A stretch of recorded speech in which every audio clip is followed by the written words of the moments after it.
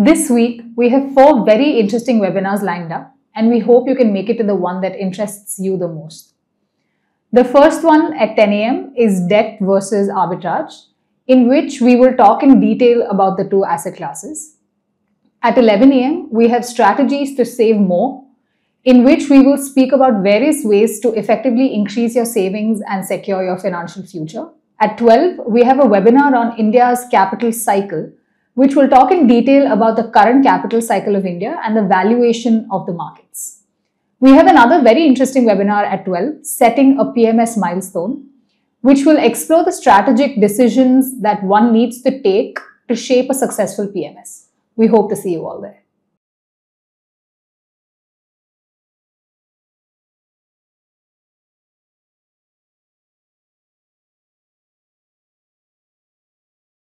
IT ரொம்ப easy to understand இவ்வளவு capital எஃபிஷியண்டா ஒரு industry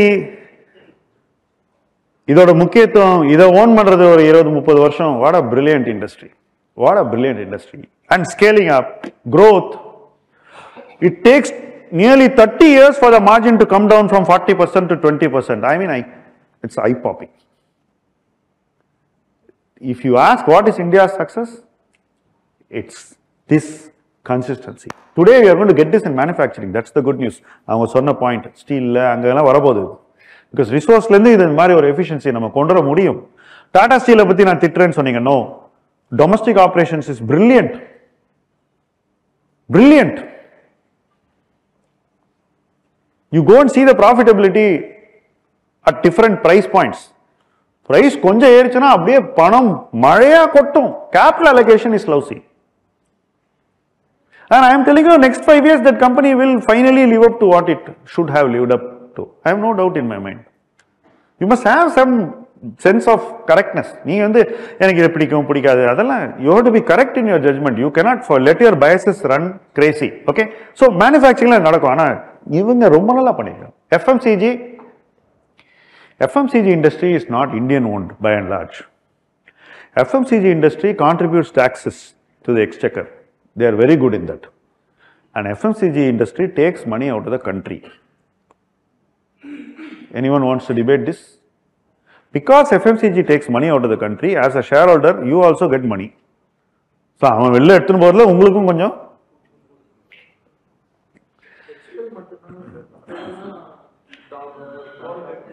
Dabur is not MNC முக்காவாசி நீங்கள் Nestle Procter and Gamble Colgate Lever Reckitt எல்லாம் வெளில தான் எடுத்துகிட்டு போகிறோம் பணம் தேவையில்லை உனக்கு ஸோ வெளியே எடுத்துகிட்டு போயிடும். ஸோ இன்றைக்கி நீங்கள் டிம்கர்லாம் ஷேரை வைத்து பணம் எடுத்துகிட்டு போகிறோம் அதுவும் நடக்க போகுது இன்றைக்கி எம்என்சியில் பாருங்கள் I won't be surprised Nestle comes and sell shares in India takes out one day it can happen don't be shocked அன்றைக்கி நம்ம சொன்ன கதையெல்லாம் ஆடிடும். ஏன்னா அவனுக்கு அங்க பேலன்ஸ் ஷீட்டை ப்ராப்பர் பண்ணனா இங்க இப்போ ஷேரை விற்று ஒரு மூணு பர்சன்ட் வித்து காசு எடுத்துமே அங்க டிவிடன் கொடுத்துருவான் ஷேர் ஹோல்டர் அங்க ஷேர் ஹோல்டர் அவன் will be breathing fire on his neck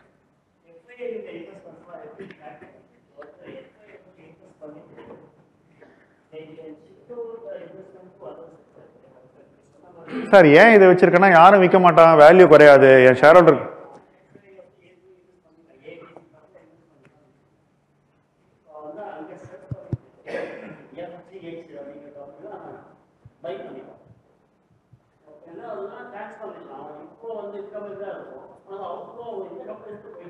அதெல்லாம் சில பேர் பண்ணுவாங்க. பட் ஜென்ரலாக அவங்க வந்து சி தே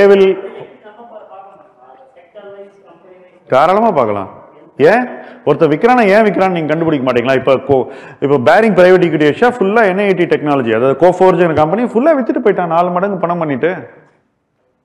ஏன் விற்றுட்டு போனா? யார் வாங்கினா? இப்போ நேற்றுக்கு நடந்த நியூஸ் நம்ம ஜஸ்ட் பிரித்து பார்ப்போம். யார் வாங்கினது இந்த ஷேரை பாலாஜி டீலில் யார் யார்? எஸ்பிஐ அப்புறம் மியூச்சுவல் ஃபண்டு அப்புறம்? அந்த மாதிரி பீப்புள் ம். இது டொமஸ்டிக் ஏன்னா நீங்க தான் எஸ்ஐபி போட்டுட்டே இருக்கீங்களா ஸ்மால் கேப்ல மிட் கேப்ல அவன் எதையும் வாங்கி ஆனுமே ஸோ எஃப்ஐ சாமர்த்தியமா? நம்ம சாமர்த்தியமா? உங்க கண் முன்னாடி நான் இது ஒரு யாரு புத்தாலி இதுல? அவன் இருபத்தி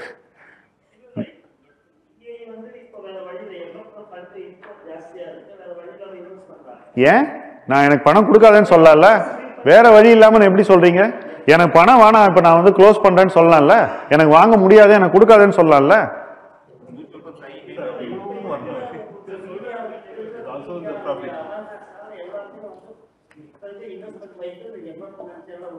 சார் இது அவேர்னஸ் இல்லை சார் இக்னரன்ஸ் அதுதான் first point ah see your understand one thing Somebody who wants to sell will be very sharp. He, his only reason to sell is because he wants to sell. Okay? Somebody wants to buy, you have to study his reason. His reason is he has too much money.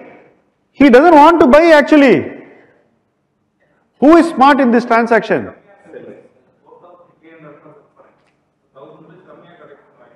எங்க thousand rupees கம்மி நானே வாங்குறேன் four thousand three ஹண்ட்ரடுக்கு என் broker விட்டு வாங்க சொல்லி அன்றைக்கி ஏற்றிடுறேன் அது நிஜமான ப்ரைஸா I am asking a question I am a institution I buy I tell my broker to buy immediately and all of you go buy இந்த because the price goes up. Is it a real price rise come on wake up தாராளமாக பண்ணலாமே. வித்தா எல்லாமே disclose பண்ணுறாங்களே எல்லாத்தையும் சொல்கிறாங்களே அவங்க. எல்லாத்தையும் சொல்கிறாங்களே நீங்கள் ஸ்க்ரீனரில் பார்க்கலாம் எக்ஸ்சேஞ்ச் நோட்டிஃபிகேஷனில் பார்க்கலாம் எல்லா இடத்துலையும் சொல்கிறாங்க அதெல்லாம் டிரான்ஸ்பரன்சி நிறைய இருக்குது anyway FMCG great business but always getting over bad in inflationary time FMCG will go up What will happen in inflationary time in FMCG business? Anyone can tell? Now, somebody said it just now. What did he say? Down, huh? Industry will go down.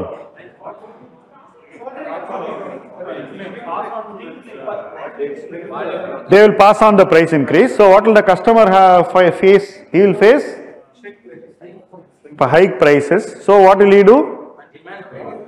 Little bit. So, he will go and buy a lesser brand that is called down trading. So the companies which are making more profit selling premium products will struggle. The companies which are selling lower products will start doing well. Companies selling products which cannot be avoided will do best. கரெக்டா நீங்க தவிர்க்க முடியாத பொருட்களை விற்கிறவன் வந்து டிஸ்கிரிஷனரியில வந்து அடி வாங்கும் நான் டிஸ்கிரிஷனரியில நல்லா பண்ணும் இதெல்லாம் நடக்கும் so inflation is good for FMCG or bad for FMCG Why do you think today you are having such high P in FMCG? Connect your politics now, come on, tell me. You are having high PE because of Raghuram Rajan, because he fought inflation, reduced the inflation so much, and that and these people have also continued in that. They have not gone too far off from what was done. Because government is fighting inflation, FMCG has got a very benign cost structure and they have been able to price better, they have been able to get more money out of the customer than they ought to, therefore their profit growth has been better, therefore you are given a higher multiple. If suppose inflation is going to continue for two years, what will happen? In the bim bam? விடும் என்ன நடக்க போகுது பாருங்க எனக்கு தெரியாது. நான் just ஒரு scenario தான் நான் சொல்றேன். இது எதுவுமே நடக்குமா நடக்காதங்கிறது காலம் தான் பதில் சொல்லும். ஆனா இதுக்கு வாய்ப்பு இருக்கு. இப்ப இதை நீங்க வந்து இந்த எஃப்எம்சிஜி வேணா லாஸே பண்ண முடியாது. பாரு இருபது வருஷமா நீ வச்சிருந்தா நீ வந்து இவ்வளவு ரிட்டர்ன் பண்ணிருக்க. நானும் பேக் டெஸ்டிங் பண்ணி டிராமா எல்லாம் போடலாம் கதையெல்லாம் சொல்லலாம். ஆனா அது ஃபுல்லா பீலா புக்கு கூட எழுதலாம். It's there is no basis to this that's what I am trying to tell you இதெல்லாம் வாயை திறந்து பேசவே கூடாது பயப்படணும் சொல்றதுக்கு ஆக்சுவலா இரநூறு பேர்கிட்ட சொல்லலாம். புக்ல எல்லாம் போடுறதுலாம் இட்ஸ் ரிடிகுலஸ் ஆக்சுவலி புரியுதா உங்களுக்கு?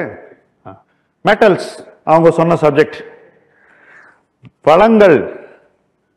நம்ம என்ன சொல்லுவோம் வளங்கள் சூறையாடப்படுகின்றன அப்படின்னு நம்மளோட அண்டர்ஸ்டாண்டிங் ஆஃப் டெவலப்மெண்ட் அதான். இப்போ.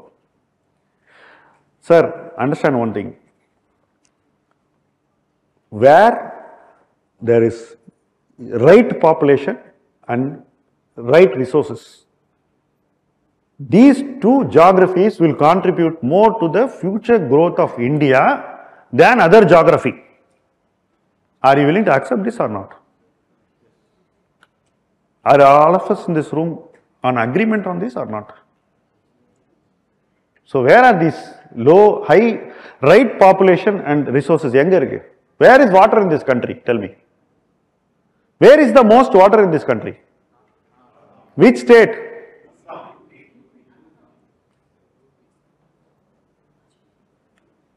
Which state? What is being invested in UP now? Where is UP investing the most now? So if you have water and you have mobility, you have population, what will follow? Investment. What is our perception of UP? I am just asking in this room. What is our social perception of UP? Do you even know what is happening? புரியுதா உங்களுக்கு metals யூபியில் இல்லை ஆனால் metals பக்கத்தில் இருக்கிற இடத்துல இருக்கு யூபியில் metal இல்லை ஒரிசாவில் இருக்கு கீழே மேலே ஜார்க்கண்டில் கொஞ்சம் பண்ணுவாங்க சத்தீஸ்கரில் பண்ணுவாங்க ஸோ சுற்றி இருக்குது ஸோ ஒரு காலத்தில் நல்லா சின்ன பையனாக இருக்கும்போது பேப்பர் படிக்கும்போது பாலிடிக்ஸ் நிறைய படிப்பேன். ஏழு வயசுலேருந்து படிச்சுட்டு இருக்கேன். கவு பெல்ட்னு எழுதுவோம். அந்த Delhi arrogance of media they will refer to north India as cow belt right அங்கே இருக்கக்கூடிய scope to grow is way higher than develop states actually இந்த last fifteen years develop states had an opportunity to somehow go to a better position and protect that position. When I say developed states, I am referring to Maharashtra, Tamil Nadu, Gujarat, Karnataka, Telangana, Andhra Pradesh in that order. இவ்வளவுதான் develop states இந்தியாவில் ஆறு ஆனா அந்த train has left the station because Maharashtra which had very similar revenues to Tamil Nadu GST today has double the revenue right Gujarat is also inching away Karnataka which was much smaller than us today has higher revenue when you have higher revenue your ability to invest for growth is we have debt right? So now we have to compete in this last industry with all these fellows. Now that's what I'm coming to tell you before I close. Automobile, where we are actually traditionally a ahead state. So that leaves only information technology and domestic services as the scope for us and maybe some new age industries. We are good in SaaS for example. We will I think find some other robotics and all that. Some places we should do well hopefully. But we have to discover that. Whereas these resource rich states don't have that problem. Please understand that. Okay. How has the government, how has the government made it easy for this resource rich state? Anyone can tell? How the government has made it easy for somebody who's got only the ability to produce steel or power? Huh? They have, they have taken the infrastructure budget from 2 lakh per ya- uh, crore per annum pre-COVID to 10 lakh crores. How much? Per annum. Entire UPA era, they didn't spend 10 lakh crore in 5 years in both the terms. Now, one year we are spending. So, where will that money go? To which sector?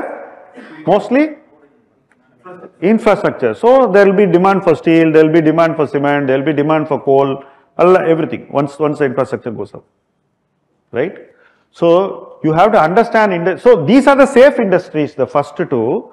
The third is a high risk industry which has to, um, where everything has to happen you global also should support global படுத்துருச்சு ஸ்டீல்னா இவனும் படுத்துருவான் so you have to develop understanding of businesses last company auto will benefit if low steel prices there always அவன் வந்து ஒரு parasite மாதிரி metal industry நல்லா பண்ணலாம் இவனுக்கு மகிழ்ச்சி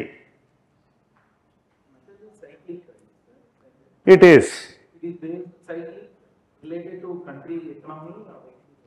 If we are insular, it is, but since if is global, insular it is but since it is it is not இப்போ China country without any resources அவன்கிட்ட ரொம்ப கோல் கிடையாது ஐநூறு கிடையாது எதுவும் கிடையாது.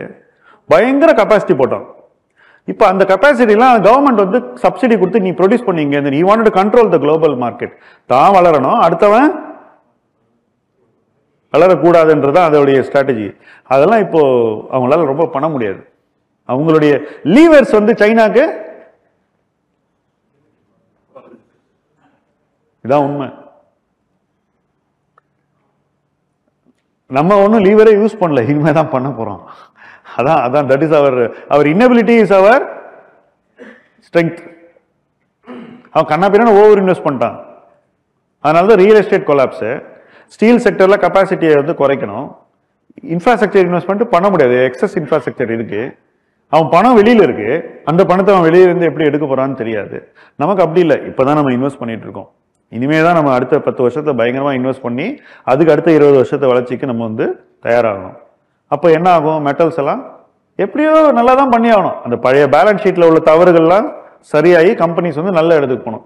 இதனால தான் ஜேஎஸ்டபிள்யூவில் இந்த பிரச்சனை இல்லாதனால ஜேஎஸ்டபிள்யூக்கு டாடா ஸ்டீலோட நல்ல மதிப்பு மார்க்கெட்டில் இருக்கு. இதனால தான் அந்த பசங்க வந்து அந்த ஜேஎஸ்டபிள்யூ தைரியமாக வச்சுட்டு இருக்காங்க. புரியுதா உங்களுக்கு? நான் சொன்ன பாயிண்ட் ஒரு பேர் எல்லாத்தையும் கனெக்ட் பண்ணுங்க நீங்கள் சிம்பிள் இப்போ ஆட்டோக்கு வருவோம்.